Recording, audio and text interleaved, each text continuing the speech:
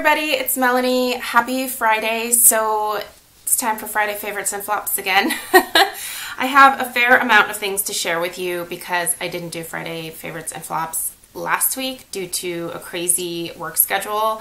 Um, I actually have another crazy weekend this weekend, which is why I'm filming this while my hair is still pretty much like completely wet. I'm trying to get it done as quickly as possible so I can get back to work.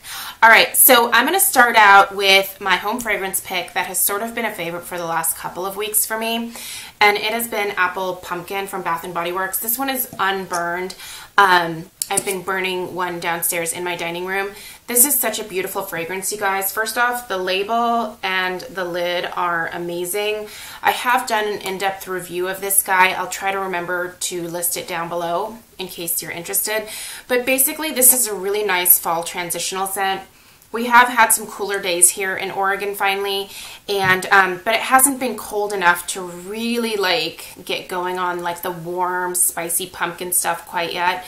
This smells like fall, but it smells like just a fresh, clean, slightly fruity because of the apple in here, but you also get that hint of pumpkin.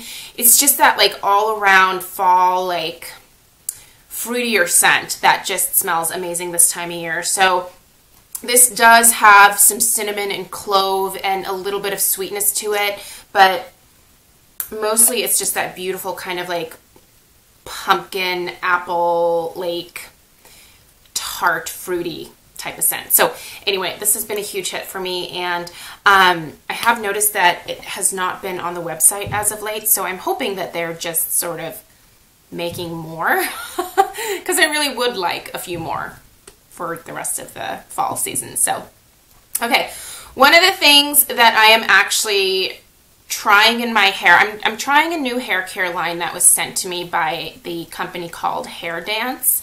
Um, they are a cruelty-free, um, all-natural hair care company. And one of the things that I've been trying from them that I really like a lot um, is their instant conditioning spray. And I have been using this every day after I get out of the shower. I just spray it into my hair. And what it does is it helps to moisturize my hair. My hair is pretty dry from coloring it. Well, actually bleaching it and then toning it gray. Um, so my hair has kind of been through a lot in the last couple of months. And so I've been looking for products that are really moisturizing, that um, sort of put back some much needed nutrition back into my hair. And this has been really, really lovely. This has um, silk proteins, provitamin B5, and marine collagen. So it doesn't weigh my hair down and it just makes it feel really, really soft. It makes it easy to brush through. I'm going to be doing a whole like dedicated review on this line, but this product so far has been a huge standout for me. It's a four ounce size. Um, I'm gonna, I will link this down below, but wait until I do my in-depth review to like get my thoughts on everything because there have been a couple of, well, there's one thing from the line that I definitely don't really care for so far, um, but this has been the standout, and then everything else I haven't really used enough to really form an opinion on yet. But this right here I've really been enjoying ever since I received it, and I have noticed that it has helped to moisturize my hair. You can also spray this in your hair throughout the day to sort of like refresh it and add a bit more moisture if you need it, so that's really nice. I've been going back to using my hyaluronic acid in the evening and this one is from Joy and Karma. You can get hyaluronic acid serum from lots of different companies. I happen to really like this one. Um, I'm going to try one from Paula's Choice next. I'm more than halfway done with this guy, so but there are times where I just sort of forget to use this, but when I do start using it again, I use I notice such a difference in my skin. It, hyaluronic acid really helps to plump up my skin. It moisturizes it, but it doesn't like provide like an overabundance of moisture. I tend to have really oily skin, so I don't need like a really super rich thick cream like some people do. I just need like a moisture boost and this gives it to me. Um, it's not heavy. It sinks right into my skin. It's absolutely beautiful. There's no fragrance to this one at all and it just feels amazing on my skin. In the morning when I wake up, I look so much more hydrated. It My skin looks just puffed up a little bit, I guess I could say. Um, sorry, my hair is gonna, I'm gonna look back on this video and be like, why didn't you just blow dry your hair? But I'm trying really hard not to blow dry it. I don't want to damage it any further than I already have. But anyway, this just plumps up my skin. It makes it look beautiful. And um, I'm trying to remember now to use it every single night. I will usually use this right after I put on my toner. I'll put this on and then any other treatment, like if I'm doing a retinol or like a BHA, I will put that on over top of this. Um, this week I have a couple of lip products that I've been wearing pretty regularly. What you saw on my lips most of the week is Buxom's Dolly. This is just a beautiful um, mauve. It's really beautiful for the fall. I love it any time of year, but it's such a great neutral. And I just, I just, I love this so much. I mentioned this in my top 10 favorite fall lip products video that I did yesterday. So um, if you missed that video, I will of course link it down below for you. But this is definitely, this is such a staple for me. I'm already about to the halfway point with this guy. So this is the one that I've repurchased several times from this Buxom lip gloss line. I just, I love it. I can't get enough of it. And another thing I wanted to mention is the Smith's Rosebud Salve. I'm wearing this on my lips right now. I'm actually wearing it over top Flutter Kiss from the NYX High Voltage lipstick line. This is definitely a favorite too, but I haven't really been wearing it other than like today. But I've been loving putting this on top of like whatever I'm wearing because it makes my lips really glossy.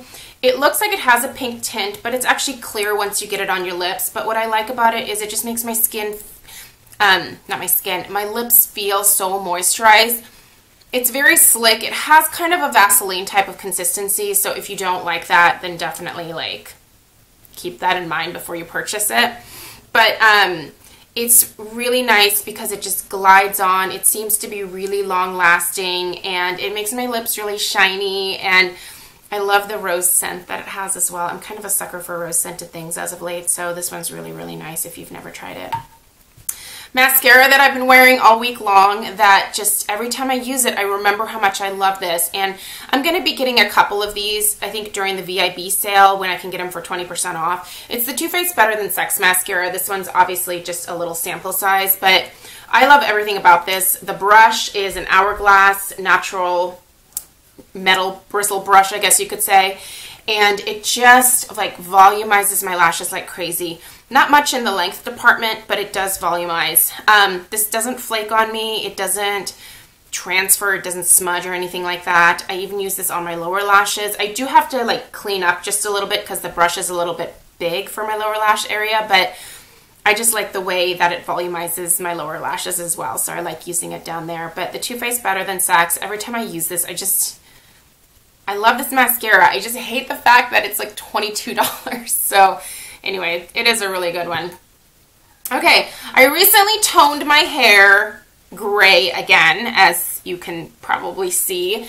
And what I used was something that my stylist picked up for me, and then I went to the salon and grabbed it from her and then followed her instructions. I used the Pravana Chroma Silk Vivids in the color silver. I showed this on my Instagram. This is just the box from it. I kept the box.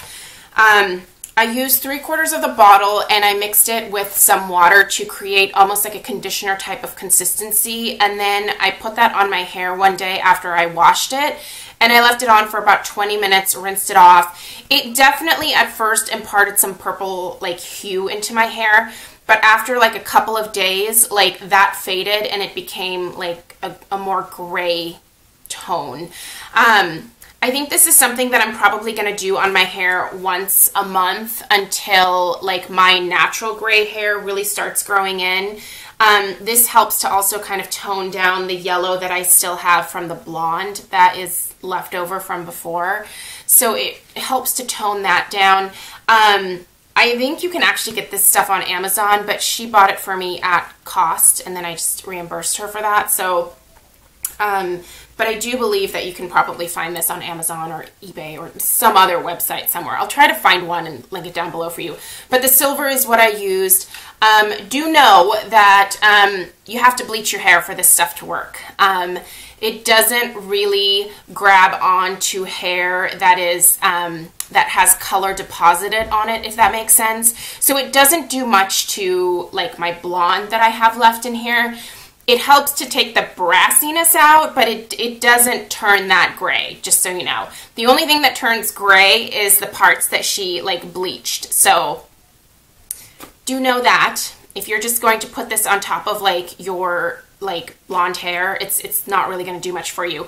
Got to go get it bleached first, which kills your hair, as I can attest to.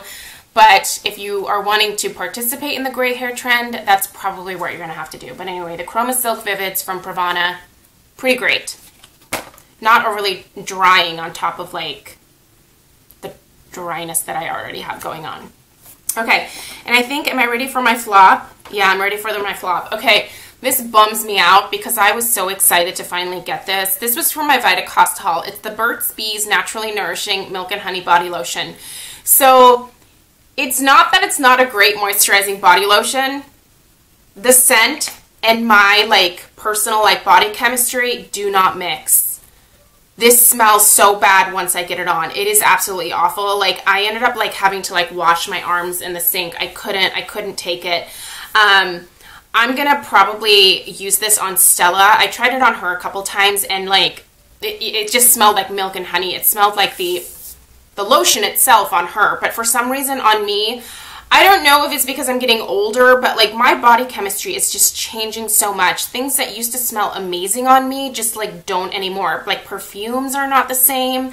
Um, I can still, with a lot of my perfumes now, I will just spray them on my clothing instead of on my body. So then, you know, I can still enjoy my favorite fragrances. But if I spray them on my skin, I notice that they don't smell the same way that they used to. So I'm not sure what I'm doing differently. Like nothing has really changed in terms of diet or whatever. So I don't know if it's hormonal, but when I used this on my skin, I was like, oh, this stinks. It reeks. And so I literally had to wash it off. So it works great as a moisturizer, which is why I'm going to continue to finish it up on Stella. But oh man, yeah, on me, no, not good. Huge, huge flop. So let me know if any of you have noticed that about yourselves as you're getting older, like perfumes not smelling the same or body lotions not smelling the same after you apply them. It's a total bummer because I really do love this scent. Um, just not on me, like I said. So anyway, those are my Friday favorites and flops. I hope you guys all have a really great weekend. I'm going to be busy working the whole weekend again. Um, which is a good thing. I am starting to near the end of my wedding season, so everything will get a little bit more like normal in my life again, and I can start to put a little bit more of my energy back into YouTube in terms of like getting back to comments a little bit quicker and stuff like that. So if I haven't like responded to some of your comments, my apologies. I just honestly like have been running out of time every single day. Things have been a little bit nuts with like floral orders at the last minute and um, just trying to stay on top of what I already had scheduled. So thank you guys for understanding and um, I hope you all have a really great weekend and you will see me next week. I already have a couple of videos pre-recorded. Next week is going to be a lot of focus on home fragrance stuff for the fall. So I hope you are excited for that and um, I'll see you then. Bye guys.